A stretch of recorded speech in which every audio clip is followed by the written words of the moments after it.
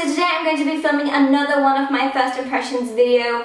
You know I really love doing these and this product that I'm going to try out or test today is a product that I've been wanting for such a long time, actually ever since it got out. And it is from Chanel, it is the Perfection Lumiere Velvet Foundation. This is such an exciting product. So first of all, some basic info before I actually try this bad boy. Um, this is with SPF 15 in it, which is really, really great. That means that it's good as an everyday foundation. It comes in a 30 milliliters bottle, as you can see. It's not the biggest packaging, but um, I think it's kind of like the standard size of a high-end um, foundation. Just by looking at its exterior, I think it's pretty much similar to the um, Vitalumiere Aqua from Chanel. They're both in the same packaging and same plastic container.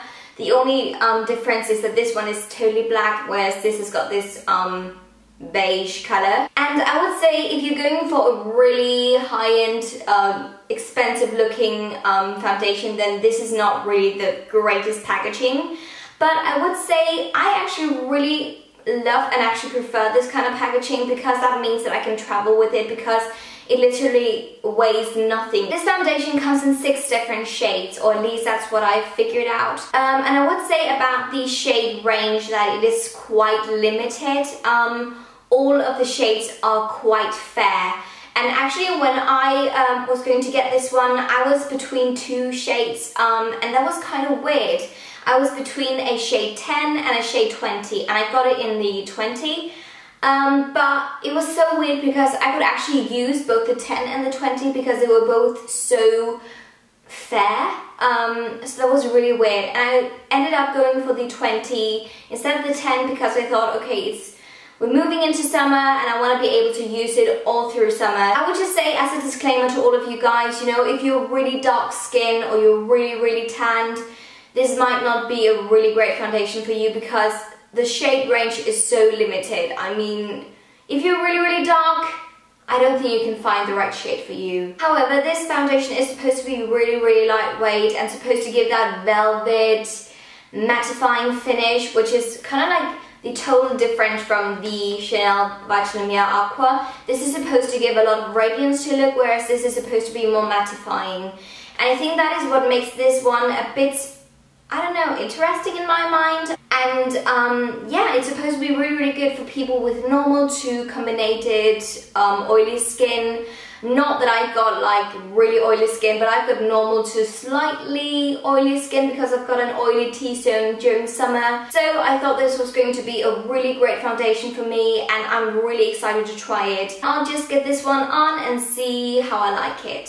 Firstly, it says in the back that you're supposed to shake this one before you use it. So I'm gonna do that. That must be enough. And let's just see the actual consistency. It comes with this kind of like an applicator as you can see, so that's fine. Okay, and there is the actual product. I do see that it's very, very lightweight. It's not runny now because I've mixed the product so nicely but I can see that it is very, very lightweight. Um, I can also feel it. So I think I'm going to divide my face into two halves. This half I'm going to apply the foundation with my buffing brush from Real Techniques and the other half I'm just going to apply the foundation with my fingers. So we'll see how the foundation likes to be applied. So firstly I'm just dotting it on and blending it in.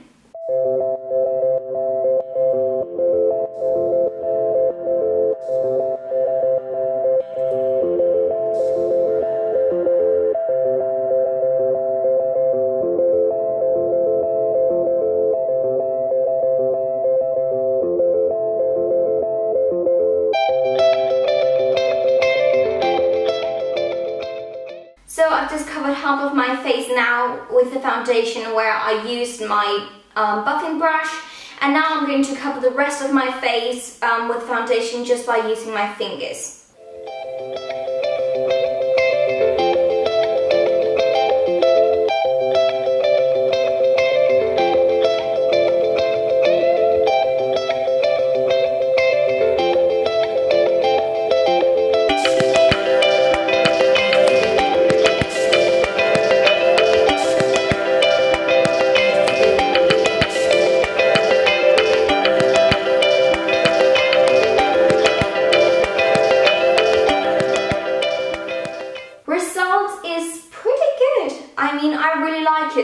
Glad that I went for the 20. Um, it is a bit dark on me right now, but I mean, in some weeks it's going to be the perfect match for my skin. It is yellow tone, so that's really, really good for me. And yeah, I really love the feeling of it. It feels so lightweight and actually when it gets on, it feels so velvety and nice and yeah, it just sets really nicely on the skin. I really like that feeling. The texture of this foundation kind of like reminds me of the Lumiere Aqua one as well. So they are actually really, really similar to each other. The only thing that really splits them apart is that this one is much more radiant, whereas this is much more mattifying. And I do get that it is not as radiant um, as the Vitalumiere Aqua one but they're both very, very watery in the texture, so it's kind of weird that this isn't called Aqua 2.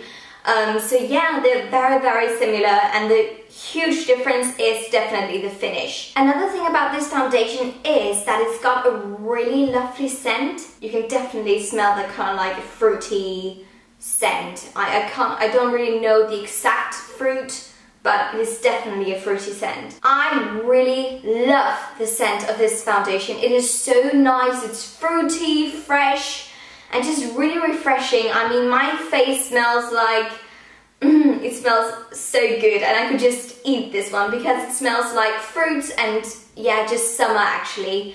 Um, however, I would say that because it's perfumed, it is a bit of a downside as well to those of you who um, are intolerant or if you just want a perfume-free foundation, then this is not the one for you. This is definitely a light coverage. I mean, it doesn't cover up my minor spots or redness or anything like that, but it leaves a very matte um, finish on your skin and it looks really really lovely I mean to me it's a very natural finish which I prefer totally I mean if I want to cover up any redness or spots then I probably would use a concealer instead of really high coverage foundation. I would say that it's slightly buildable. I mean, you could probably build up to medium or a light medium coverage, but obviously you shouldn't put on layers and layers and layers of this one because you'll just end up looking cakey and weird. All in all, I would say these two are really, really similar um, in texture and bottle and